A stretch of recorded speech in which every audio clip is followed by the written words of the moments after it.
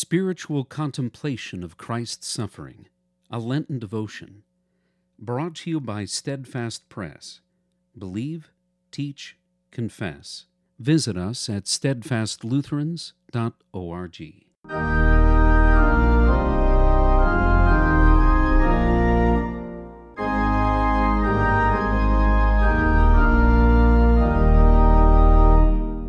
Saturday, Lent 1.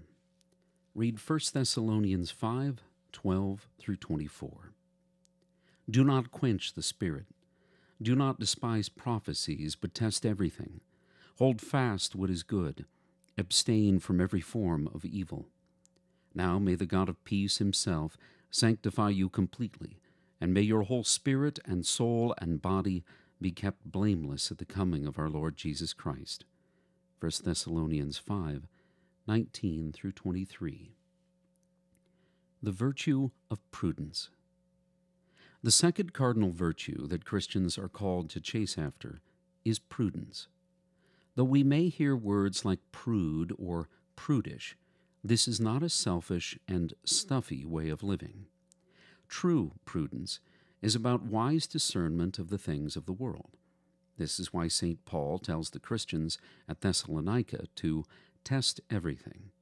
To be discerning and prudent is to be wise enough to test all things, to learn what is good and what is evil.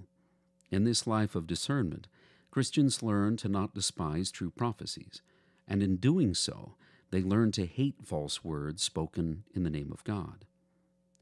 Indeed, one of the prophecies of Christ specifically spoke of his prudence.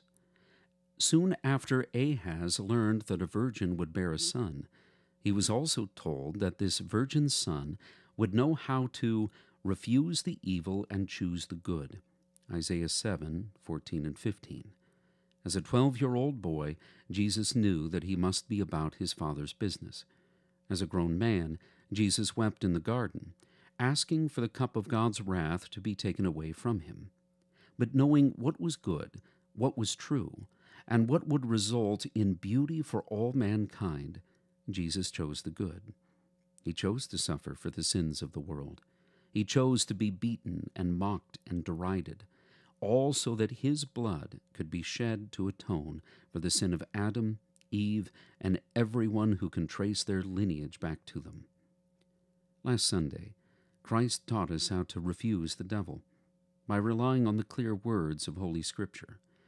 It is in the same written word that we learn to refuse the evil and choose the good in our daily lives. So return to the Scriptures, cherish prophecies, test everything, and abstain from what is evil. You have come to us, Emmanuel. Teach us to choose the good, and ever sing your praise as you teach us how to live. O come, thou wisdom from on high, and order all things far and nigh. To us the path of knowledge show, and teach us in her ways to go. Amen.